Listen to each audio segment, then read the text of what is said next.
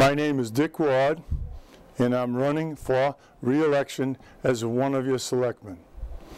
I have currently been serving for six years. My wife Judy and I have lived in Carver for 49 years. 49 years. And moved here from Pembroke in 1964. All five of my children grew up here in Carver and were educated here in Carver. Three of my grandchildren were educated here in Carver and continue to live here now. My education background is I graduated from Silver Lake Regional High School and I received my bachelor's degree in education from UMass Amherst. I have been actively involved in your community since 1964. I've been a teacher here in Carver and in the Plymouth Carver Regional System for 31 years. I served in our town as a volunteer fireman, special police officer, and in the 60s and 70s, I taught Sunday school and ran a youth fellowship program at the United Parish Church with my wife Judy. I helped start several youth sport programs here in town. I served on the Recreation Committee. I helped start the Carver High School Boosters Club, Athletic Boosters Club. I was the town moderator for three years. I was elected to the Board of Selectmen in 1976, and I served as its chair at that time. As a selectman, over the past six years, I've been involved on many committees and subcommittees. I've been on the Master Plan Committee, I was on the Earth Removal Committee, I was on the Plymouth Airport Advisory Group. I was on the Carver Agricultural Commission, and still are, and several negotiation committees working on behalf of our town with all the union employee groups. My question is, can the town of Carver afford a new school at this time? Our education here in Carver is outstanding, but our buildings are deteriorating. And if we aren't proactive, our children's education will also deteriorate. Proactive to me means we must follow up on our vote to place Carver in the Mass School Building Assistance Authority pipeline for new school funding of approximately 50% reimbursement hopefully more. Everyone in our town is concerned with our kids' education. Yet, because we could not come together as a unified group, we have already lost at least 10% reimbursement. Let's not lose it again. Lately, I have heard, and there has been a lot of criticism about how our town has been financially managed over the past six years. I am very proud of how we have come through this period of recession during these six years. I'd like to cite a recent article from the Boston Globe about the DOR study on taxes. 49 towns in this study since the great fall of 2007, six years ago, Carver has had next to the next to lowest increase in taxes of the 49 towns. The next to lowest increase over that six-year period. All the towns throughout the state, including Carver, have been facing a serious budget crisis and will be in the future. We have been vigilant and we are scrutinizing each department's budgets. When someone retires, we are not replacing them. It is difficult to find ways to spread the work over the remaining people, but that is what we have been doing. I often ask myself what a selectman should be. It pretty much boils down to three words respect, responsibility, and restraint. There actually needs to be more respect for all the people who volunteer on committees and boards in our town. It is our responsibility to make sure we carry out what is best for our town. And restraint is a form of mutual respect we must all practice. I look forward to the privilege of continuing to serve the town of Carver that has been so good to my family and me. I ask your support for my bid for the position of selectman and for your vote on April 27th, Election Day. Thank you. I'm Paul Johnson, and I'm a candidate for the Board of Selectmen. You know me as a Little League coach for 10 years. You know me as the founder of the Carver Sportsman's Club Scholarship Breakfast. For the last 11 years, we've been raising money to provide scholarships for Carver High School seniors and sending kids to the Massachusetts Junior Conservation Camp.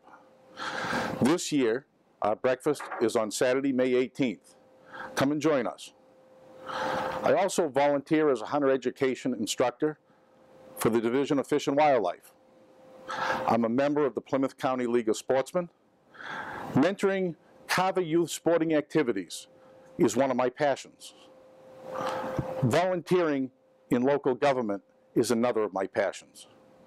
You also know me as a member of the Firearms Licensing Committee, the Carver Finance Committee, the chairman of the Legal Services Committee, or as a two-term chairman of the North Carver Water District Commission. If you watch CATV, you may also know me from my TV show, The Game Gourmet. I've been elected to public office twice and know well the responsibilities and commitment required and expectations that come with public service. The first responsibility of any candidate is to run an effective and a positive campaign. My campaigns for Water Commission were positive, and I have a record of accomplishment of which I am proud. My campaign for selectmen will be positive and focused on the changes we need to make to move Carver towards affordability for our businesses and residents alike. I've lived in Carver since 1990 with my wife Barbara, who has earned her place in heaven for putting up with me for the past 34 years. We raised two sons in Carver. Dan is an English teacher who just won an award as an outstanding educator in Houston, Texas. And Jeff is a practicing attorney here in the Commonwealth. This February, we welcomed our first granddaughter, Genevieve, into the family. I earned my bachelor's degree in industrial engineering. I've been a manager responsible for profit and loss in private sector manufacturing businesses for more than 34 years. The most important function of a manager in the private sector is that of change agent, a facilitator of positive change and growth. In my 34 years as manager, I've faced many difficult tasks. I modernized the manufacturing processes for an aging product line, adapting computer-controlled equipment to reduce cost and improve quality. I was instrumental in achieving original equipment qualification of automotive batteries for Ford, Mazda, and Chrysler in record time. And I was part of a management team that reversed more than a decade of losses, restoring profitability to a small Quincy manufacturing facility. In my present job as manufacturing manager, I've managed to maintain profitability in the worst economy in memory. In Carver, I was a member of the Firearms Licensing Review Committee. I took on one of the most controversial issues of the late 1990s. This issue was marked by division and rancor. It was a public relations disaster for our town. The policy I drafted restored civility to the licensing process and respected the role of law enforcement in public safety. Since becoming president of the Sportsman's Club, I quietly worked together with Chief Parker and Chief Mitch to open the club's shooting range for the first time to Carver Police training exercises. Working together, the club and two consecutive police chiefs, we lowered travel costs associated with training and more importantly established a new and more positive working relationship with the sporting community. Most of this work was done out of the public eye and without fanfare. I'm proud of my role in that process. As chairman of the Legal Services Committee, I took a leadership role in drafting a comprehensive request for proposals used by the town of Carver in soliciting proposals for town counsel services.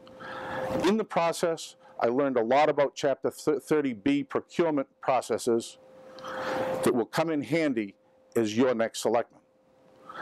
As chairman of the North Carver Water District, I worked together with Commissioners Deb Silva and Kevin Tracy to set priorities and provide leadership for the district. We navigated a minefield of technical and financial obstacles with an entrepreneurial spirit worthy of a private sector business. When it became clear that we faced significant deficits, we reached outside the district to find new non-tax revenue. We negotiated an out-of-district water supply contract with Decas Cranberries to help fill the gap and fulfill our promise to make this a self-sufficient fiscal entity. The Decas deal stands as an example of a constructive relationship between an important business and town government. Only an elected commission with dedicated citizen advocates could have kept faith with the residents of the district, our general fund taxpayers, and our businesses as well.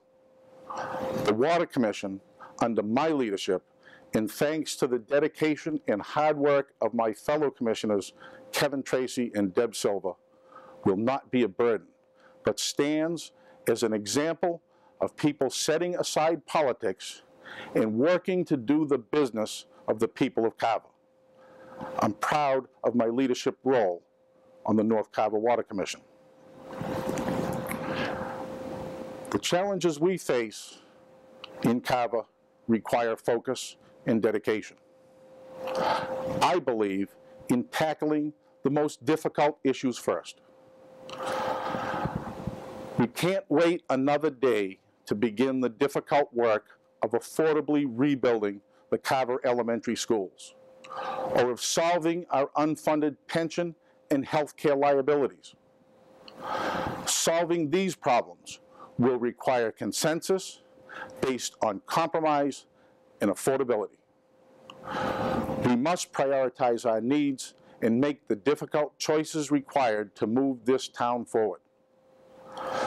Leadership must summon the courage to place these issues on the table and assign them our highest priority.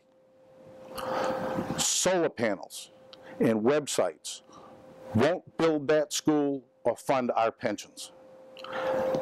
As your selectman, I will not be diverted from the most important tasks at hand.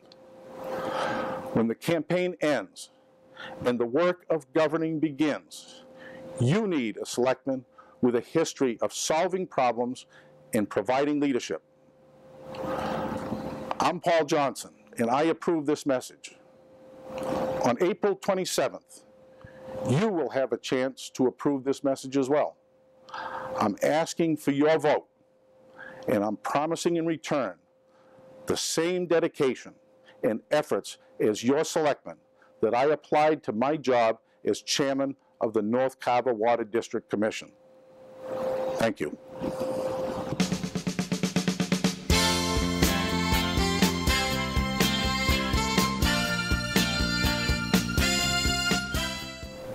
Like to thank the Carver Community Access Television for the opportunity to explain my candidacy. I am Jack Franey, your treasurer tax collector. I am a candidate for re-election. I've lived in town For 28 years with my wife Terry, where we raised our twin daughters, Carrie and Christy, who went through the Carver school system. I have a Bachelor of Science degree in Business Administration and a Master's degree in Taxation. I am a certified public accountant with 39 years' experience in tax planning, municipal finance, and business management. I am also a certified municipal treasurer. I served three years on the Carver Finance Committee. By education and work experience, I have the most in-depth knowledge of the complexities of municipal finance. I'd like to list some of the ways that my education and work experience saved you money. I restructured the tax repayment agreement for the Ravenbrook landfill solar project, resulting in additional revenues of $100,000. I upgraded the bond rating to Standard & Poor AA minus in the worst economic recession in our lifetime. I increased cash flow and stabilized cash balances through conversion to the quarterly tax billing system. I implemented cash receipts and reconciliation reporting systems. I simplified our tax bill to include the payment required to qualify for the 3% discount program, eliminating taxpayer uncertainty and guesswork. I cut interest costs by 50% as an incentive for taxpayers who enter into a five-year repayment plan when they are in tax title. For my third term, my plans are to develop a comprehensive financial plan to build a new fire station under the levy limit, finance the school renovation project through the Building Stabilization Fund. This will allow us to begin construction of a new police station when debt exclusion payments have been completely offset. I plan to work with a new town accountant and a new town administrator to establish the financial management team approach along with the assessor, finance committee, and assistant superintendent of business and finance for operating and capital projects planning. I plan to develop financial policies and procedures to guide the town and establish a structure to maintain our bond rating. I've earned the trust and respect of Carver voters during the past six years as your treasurer tax collector. I've worked diligently to improve the operation of the treasurer collector's office. I've improved the cash flow and increased Carver's bond rating, which directly benefits Carver taxpayers through lower borrowing costs. I've spent my career helping people manage their finances and minimize their taxes. I ask for your vote on Saturday, April 27th to continue to advocate on your behalf as your treasurer tax collector. I'm John K. Franey, candidate for re-election for treasurer collector. Thank you for your time and interest in my candidacy. Hello, I am Paula Newt, and I am running for the position of Treasurer Collector for the town of Carver. Most of you may recognize me from my 10 years at Rockland Savings Bank, South Coastal Bank here in town, where I proudly served as branch manager for six of those 10 years. Others may recognize me from the community activities with which I've been involved in, such as the South Carver Lions Club, Pack 63 Carver Cub Scouts, Carver Daisy Girl Scouts, and many of the other sports and cheerleading groups in town. My background includes 17 years in banking with 14 of those years in managerial positions. I came to Carver Town Hall looking for a new career in the financial area and for over nine years have proudly served as your assistant tax collector. I have earned Massachusetts Municipal Collector certification and am currently preparing to re receive Massachusetts Municipal Treasurer certification. What I also bring to the Treasurer Collector position, however, is practical experience. With the exception of signing checks, borrowing money, and final decision or actions on accounts, I already do the job I consider myself as your employee and the Office of Treasurer Collector not only as a public service for you, but for other departments of the town of Carver as well. It is critical that the Treasurer Collector's Department's daily, weekly, monthly, and annual operations flow more smoothly and efficiently than they have. And it is equally critical that this office does not continue to be a weak link in the running of Carver's government.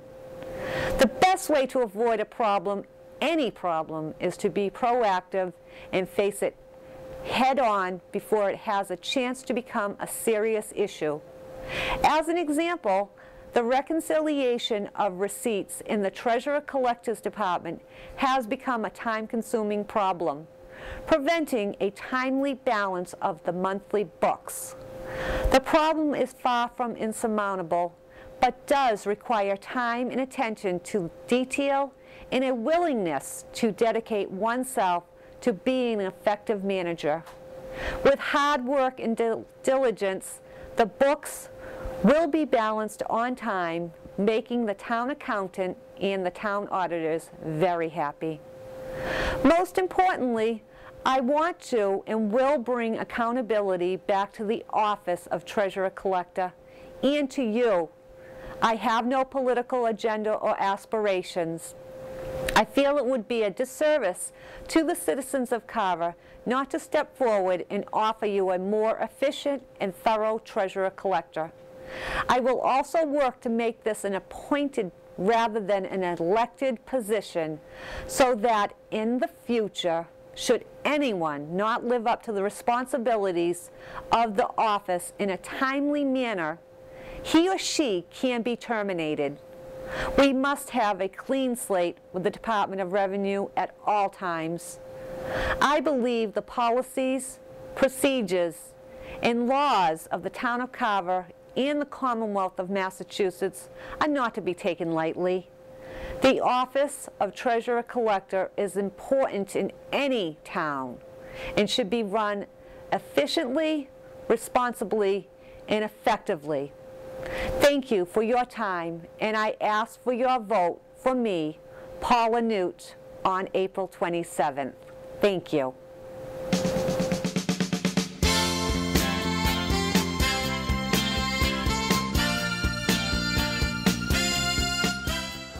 I'm John D. Kelly.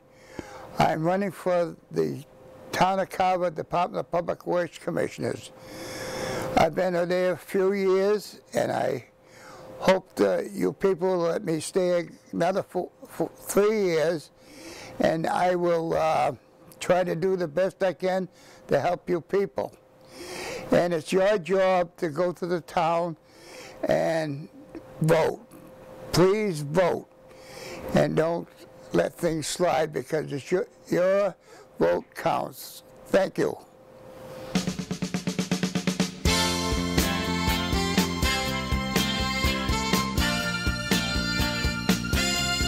Hello, and thank you for taking the time to get to know our candidates this year. My name is Lynn Doyle, and I am running for the position of Town Clerk. Our present Town Clerk, G. McGillicuddy, has decided after much consideration to retire and spend more time with her family. I would like to take a moment to tell you a little about myself. I moved to Carver in 1999 and have called Carver my home for 14 years. I've raised two wonderful children in Carver who are now adults with productive lives of their own. I volunteered at the schools when my children were young. Working in the town clerk's office, I've had the pleasure of getting to know many of the residents. I have been witness to many wonderful as well as difficult occasions in our town, but the one thing I've seen that remains constant is the ability of the residents to pull together and be there for one another. I am proud to be part of this community. The profession of municipal clerk is a time-honored and historical one. Over 90% of the activity that is supervised by the town clerk is mandated by law.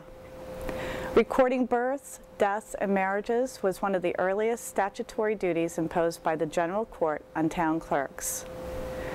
Since the revolution, the general court has continuously added new duties, and at the present time, there are 451 functions listed in the Mass General laws that fall under the authority of the town clerk. The town clerk's office serves as the central information point for local residents, and that is evident by the inquiries we field on a daily basis.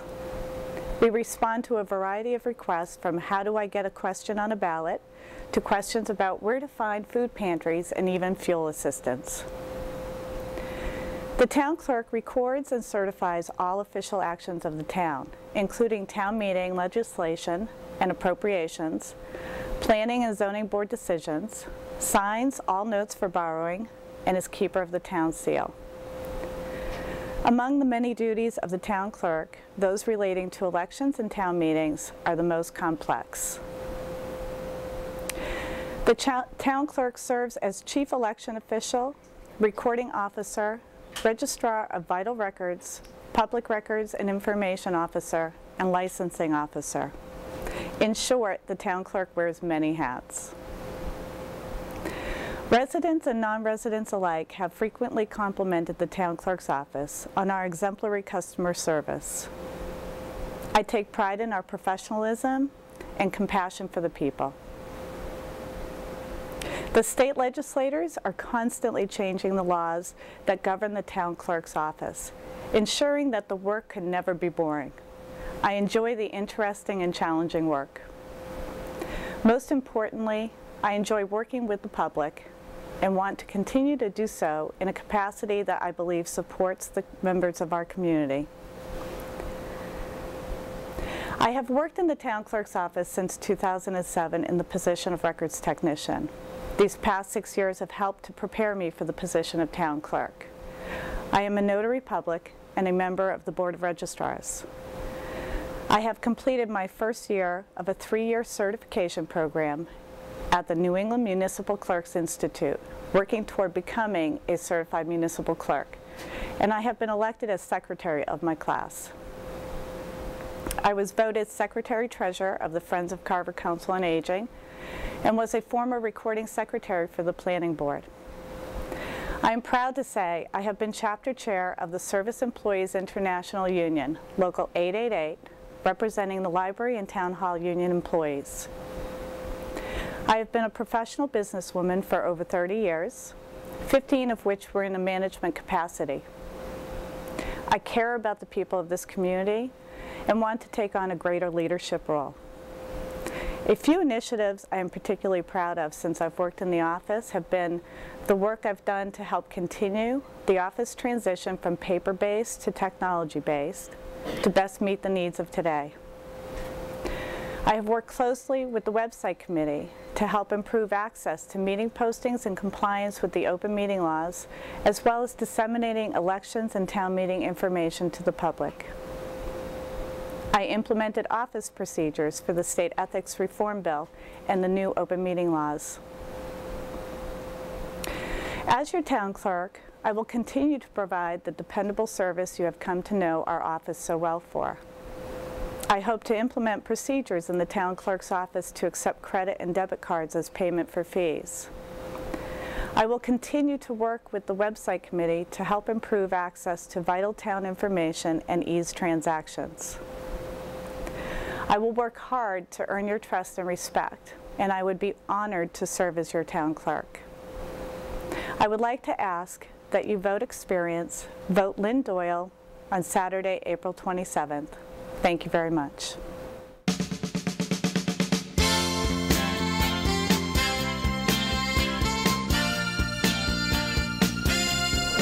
Hi, I'm Mike Paddock, 23 West Street. I'm running for Board of Assessors. I just wanted to come in today to thank the town of Carver for three years ago electing me for this position. Uh, I've learned a lot in three years. Three years ago I didn't know how to spell assessor. Uh, since then you've sent me to school. Uh, I've learned all the nuts and bolts of what assessing is, what it does, what it means, and I've learned to work with a board that's uh, very competent and very helpful to the citizens of the town. I was very surprised about a few things with assessing, one of which was, and I'm grateful for this, none of the assessing department like taxes, which was a surprise to me. Uh, also, we have one of the most competent departments uh, that I've seen. I'm very pleased with the work that's being done there, uh, how it's being done. I think we do an excellent job in the department. One of the things our assessing department does that few people know is it saves our town a lot of money. Many things that other assessing departments farm out to expensive and private contractors, we do ourselves in-house in town. Uh, our assessing department not only works at educating other assessors, but they're also uh, improving their education as well.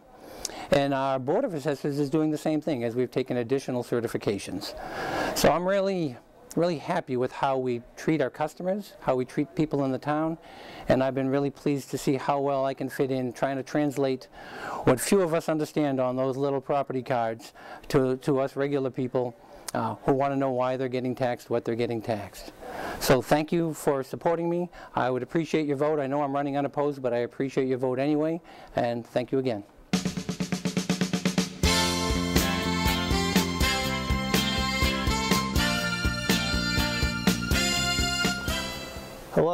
My name is Brian Abatello, and I'm a candidate for the Carver Redevelopment Authority. My wife Janice and I have been living in Carver at 15 Wade Street since 2007. We moved here because of my job with a major communications company in the area. Since then, we have enjoyed living in Carver with its quiet setting and personable residents. My purpose for reaching out to you today is not only for you to put a face to the name, but also for me to explain my intentions for seeking a seat on the Redevelopment Authority. First, I have always been a civic-minded individual who believes in taking action and being part of the greater good. In addition, I appreciate the natural beauty within this town's borders and wish to ensure its preservation while serving on this board. Also, I believe there are ways to generate revenue for this town by the redevelopment of its properties while still respecting the rights of the townspeople. Finally, I look forward to working for you as a member of the Redevelopment Authority and hope that you will support my efforts in realizing this goal. Please remember me favorably when you enter the polls on April 27th. Thank you.